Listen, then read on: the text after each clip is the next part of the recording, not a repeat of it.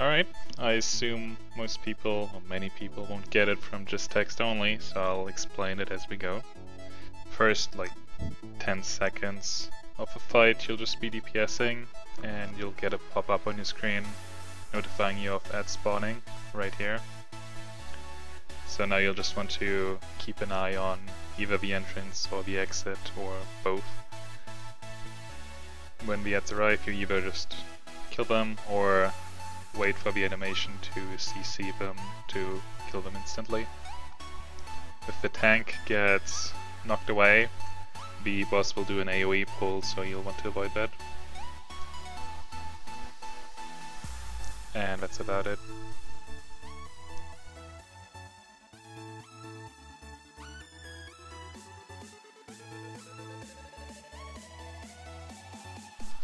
This mini boss is basically just a DPS check.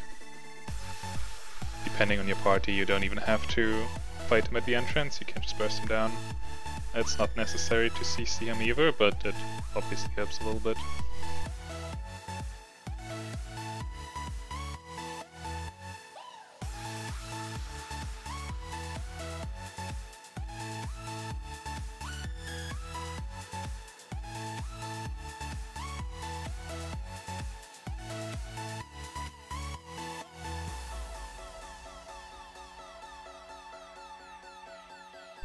I have two separate clips for this one. In the first one I'll just show you how to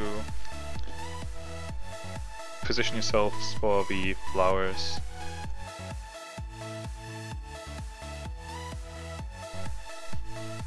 Once a message for the flame wall appears, you just want to look how far away it is, and then as it gets closer you use your stuns and then um, knock the boss into the air.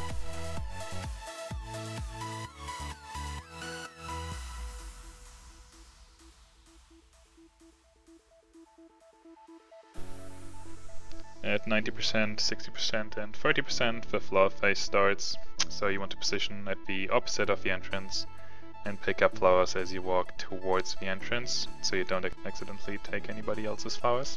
And then you want to go start attacking a boss again, so the stealth class is the furthest one away. In this case the summoner uses his party protect to save us from damage right after the flame wall will appear again, so you want to get your stuns ready. And right after he'll use projectiles, so what I do is just throw down my range resist smoke.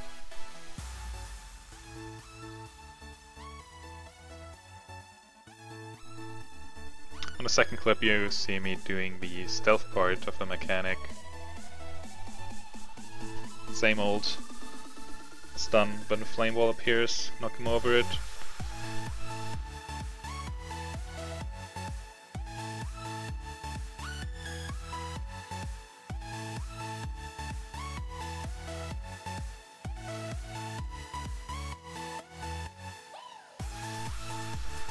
Once the flowers appear, you go to the entrance and pick up the two flowers closest to it.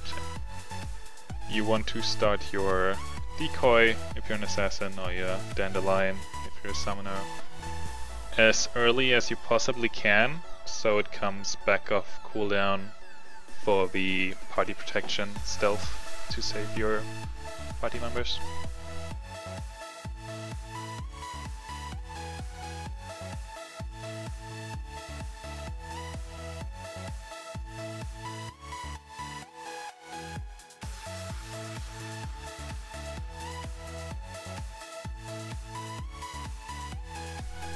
You very much for watching. I'll upload a second video with the last boss soon.